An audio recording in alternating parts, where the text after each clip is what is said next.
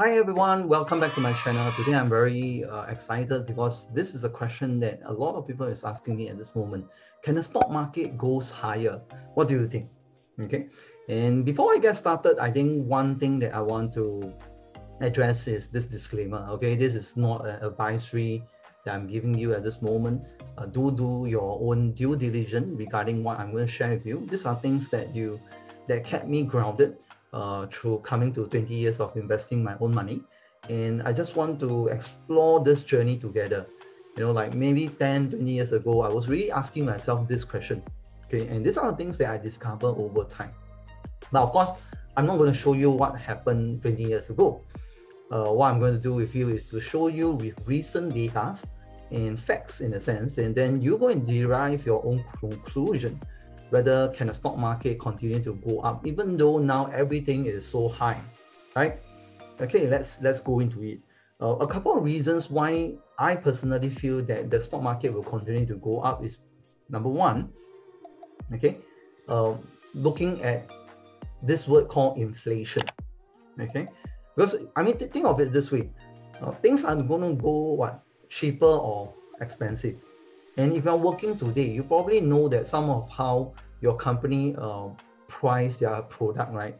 They have an incremental inflation amount many uh, over the next few years. Every other year, they prefer to increase their prices, and not just in terms of uh, revenue, in terms of cost also. Think of your increment. Okay, on the year on year, potentially you are on track with inflation or not, in a way right? During good times, potentially your increment, uh, your increments will be slightly higher. And all these are passed to who? Consumer. So means what? Companies are likely to grow their revenue in a way. They are going to grow bigger over time.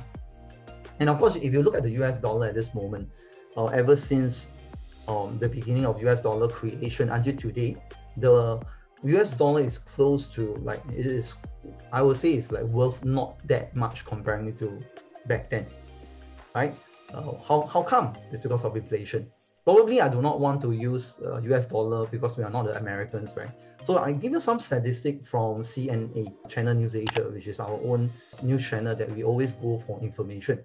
So these are uh, slightly backdated data, okay, looking at some retail prices of key consumer items. Okay, if you look at 2013, uh, Thai rice 100% fragrant is probably at 12 plus right? $12 plus, but in 2018, it went to $13.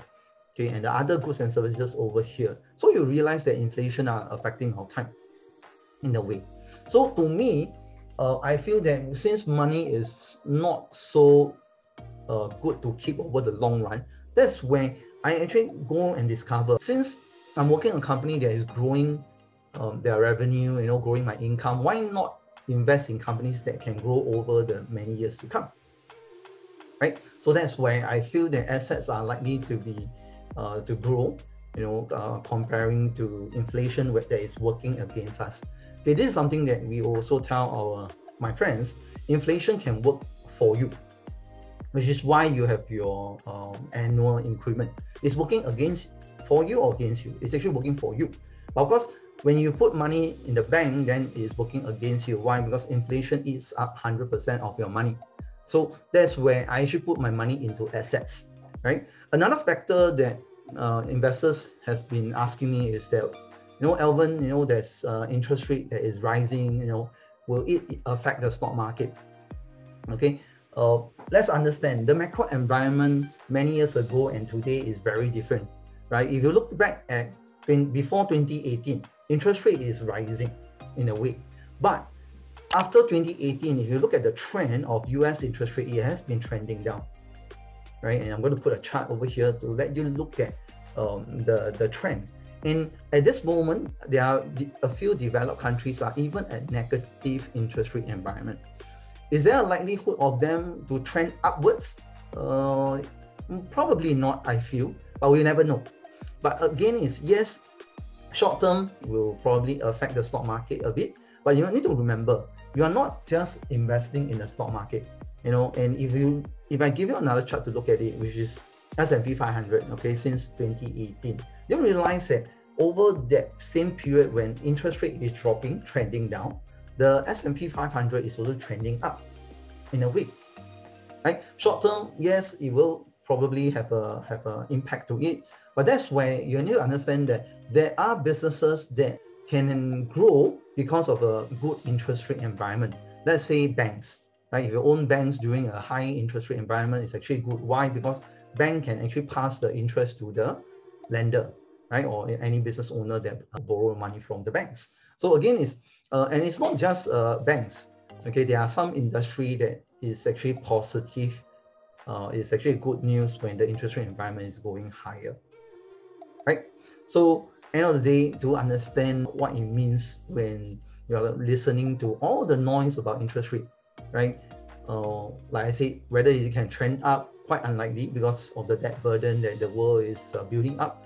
Uh, you need to understand is assuming now, uh, US, uh, they have a very huge debt at the back of their mind, right? There's like what 20 over trillion or going to 30 trillion. For them to start increasing interest rate very strongly means they are going to pay high interest on their own debt. So I don't think it is their interest at this moment to quickly increase the interest rate. Okay, do, do understand. So this is a macro environment that we are dealing with. You know, I can even want to say that at least for the next 10 years, 20 years, uh, interest rate going to back then before the 1980s is really very low probability. I wouldn't say it's impossible, but it's very low. But what I feel that really governs me to continue to invest my money, even though prices has been going so high. You need to remember, looking at this S&P 500, right? Uh, 10 years ago, the high is actually lower than today. Right? So do you realize that 10 years ago, people will still have this question, oh, uh, hey, the market is so high, can it go higher? Right? So how do we govern, how do we how do we become less emotional over time? Okay, two things. One, where I shared with you, which is uh, inflation. Secondly, I feel that you need to look at this as what I call by population. So this is a population uh, projection, uh, uh human population projection by the UN uh, around the world from 1950 to uh, 2000 and, 2100. Okay, so in, in a sense, for the next what 50, 80 years, right, there is growth. Now think, think of it this way, when there is growth, will, will individuals like you and me continue to consume? Yes. And another data you, you can go and research, right? Our life expectancy for the last 10, 20, 30 years have actually grown. And just to remind you, when there is growth with individuals, people are likely to consume. Of course, they will consume different products, you know, different services. Uh, and, and and that's why to me, I, I feel that purely inflation and population, right? You can understand that uh, growth of companies and growth of goods and services will be around you know, and the world GDP have exploded, you know, uh, over the last many, many years, right? There's so much of goods and services, right? And, and again, as you see, you know, when it comes to investing, right, there could potentially be a lot of noise, right? Noise that will really uh, uh, sort of like make you very confused, you know, you don't know what's happening. And that's why I want you to look at this Dow Jones Industrial Average, okay, since nine, uh, 1896 to 2016 because this is a very backdated chart. But what I want you to see, uh, over the last 120 over years, right, do you realize that all those squishy line on this picture, um, there is about 121 events. So means what? Every year there is a news event, which is what we call noise, right? It's like there's crisis, there's uh, recovery, and this is a U.S. Dow Jones Industrial Index. Okay, there were even like two world war during this period. and during this period, there were like change of hand between presidency in US, right? So I actually covered this video about the US presidency in the earlier videos. Uh, these are basically all noise. You know, end of the day, do you realize that this Dow Jones Industrial Average, right? The general trend is where going up, right? So I, I, I think this is one thing that I want to remind everyone, and it's from Warren, and this is something that I always remind myself when there is correction, when there market crash you know, and this is a, a code. So I'm going to put it here. The market is the device for transferring money from the inpatient to the patient, right? If you are if you are every day listening to all this noise, you know, you are going to get very emotional and you are not able to understand and reap the um, the benefit of this uh, trans money transferring machine. You know that purely when people are irrational, then that's good, right? Because we are rational, they are going to transfer money to me. So the more I, I see people, you know, uh, going up the roller coaster, uh, a bit sad, a bit happy also in a sense.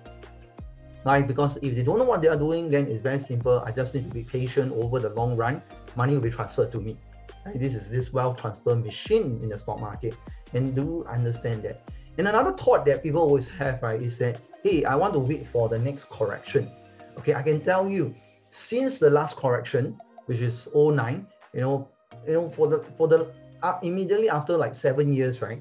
Uh, everyone has been waiting for correction, right? But remember, the correction just we just had one in 2020, which is like they easily wait for next four years before the correction come. So I think is that correction is is part of the game when you are putting money into a stock market because the stock market is always not rational.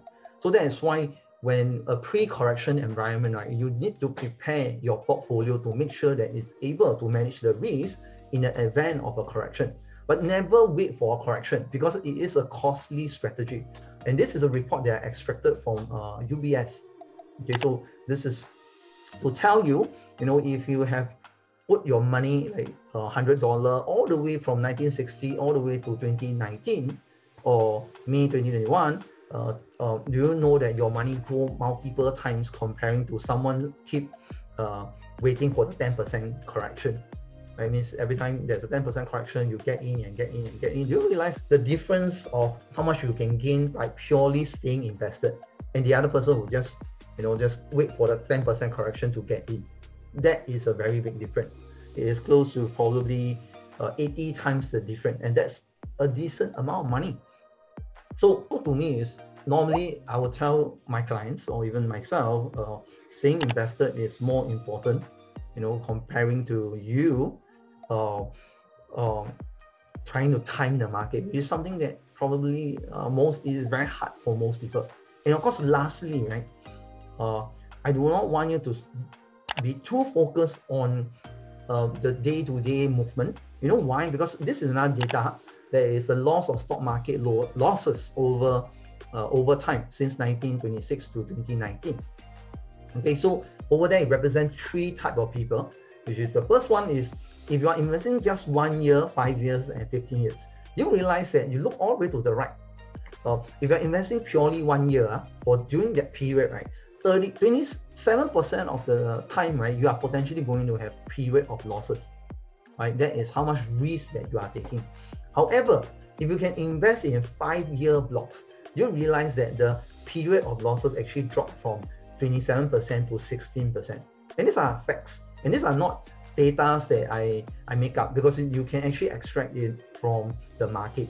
And it's actually from the source is uh, Morningstar, it's not from me.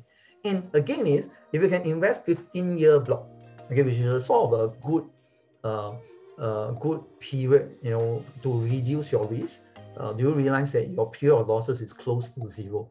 Okay, I won't say that it's zero because there could be uh, moments that we caught us by surprise, but I mean, purely this data for the last coming to like about 100 years, I, I think these are insights that a lot of people don't get to see. So I just want to share this with you and hope that with this video, uh, is able to anchor or, or, or, or change some of your understanding of the market, you know, because these are reality Okay, in a sense, these are facts. And if you are not aware of this, I hope that this will help you to purely stay invested over the long run. You know, and most important, manage your risk. Um, don't don't listen to too much noise. You know, something that Warren Buffett keeps saying. You know, uh, our time is not looking at the price going up and down. For us to be a very good investor, to really understand the businesses that you are investing in, how are they doing over the long run? Are they? Are, is the management doing well? Are, is the financial ratios uh, doing well in the sense that and is the product and services uh, on an ongoing basis in demand by consumers? I think these are very important questions when you are investing in companies, right? You are not looking at the price, right? You are investing in pure company, right? That is the main difference. Okay, if you are looking at price, then you you basically miss out the potential of this uh, stock market that can benefit you. Okay, so I hope you watched until here and you really enjoy this session. I hope you can support me in my journey by purely like like my channel, follow me, subscribe to my channel, and turn on the notification bell. So I see you the next video. Bye everyone.